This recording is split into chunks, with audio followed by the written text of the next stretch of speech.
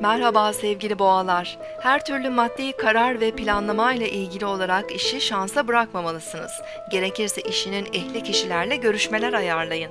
İlerideki projelerin finansman olasılıklarını etkileyecek adımlar atabilirsiniz.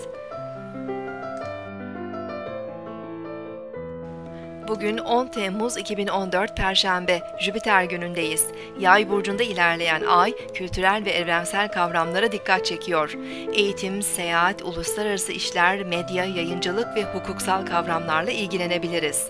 Sabah erken saatlerde etkili olacak Ay-Uranüs üçgen açısı heyecan ve coşkumuzu arttırabilir.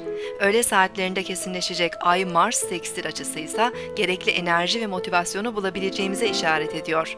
Hareketli ve verimli bir gün geçirebiliriz görebiliriz. Yay burcundaki Ay, öğle saatlerinde İkizler burcundaki Venüs'le karşıt açı yapacak. Duygusal beklentiler artabilir ve ilişkilerimizde fazla toleranslı davranabiliriz. Özellikle bayanlarla olan ilişkilerde biraz daha dengeli olmaya çalışmalıyız.